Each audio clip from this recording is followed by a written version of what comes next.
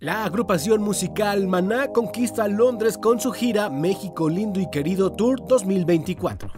La agrupación oriunda de Guadalajara, Jalisco, Maná, ofreció un concierto en la arena de Wembley, en el Reino Unido, este sábado por la noche, como parte de su gira México Lindo y Querido 2024, siendo esta la primera banda mexicana que se presenta en esta mítica arena. Algunos usuarios de internet subieron partes del concierto que ofrecieron los músicos mexicanos, quienes deleitaron a su público con más de dos horas de show, en el que demostraron que regresaron para quedarse.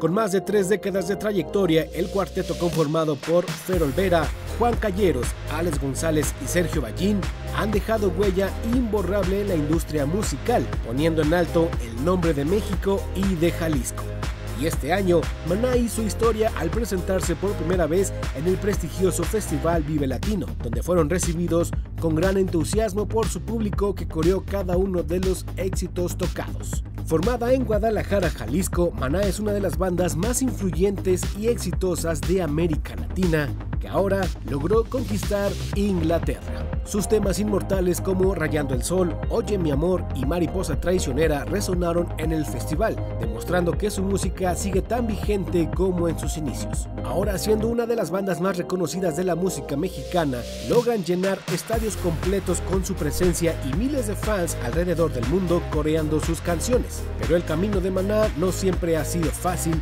o miel sobre hojuelas. Antes del éxito que ahora gozan, los tapatíos sufrieron mucho para encontrar una disquera, pues ninguna compañía creía realmente en su propuesta. Y no fue hasta que llegó en su repertorio el tema Rayando el Sol que recibieron su primera gran oportunidad. Y así lo comenta Fer Olvera, vocalista de la agrupación, en una entrevista con el conductor Jordi Rosado.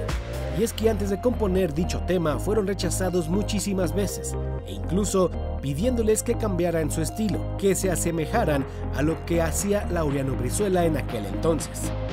Pero confiados en lo que ellos creían, decidieron seguir y entonces fue cuando nació el tema Rayando el Sol, sencillo que sigue siendo coreado por miles de fans en cada concierto. La estábamos tarareando, no tenía letra, tenía la tonada pegada. El sol ya estaba saliendo. Entonces dije, rayando el sol, y me puse a escribir la canción. Es lo que contó Fer Olvera sobre el peculiar nombre del tema. Por su parte, el baterista Alex González confirmó que la canción de su compañero no solo marcó un antes y un después en Maná, sino que hizo toda la diferencia, pues sin ella probablemente no existirían hoy en día. Veníamos bien frustrados porque ninguna compañía nos quería firmar en México y esa canción salvó prácticamente la carrera de Maná. El resto es historia. Miles de conciertos, más de una decena de éxitos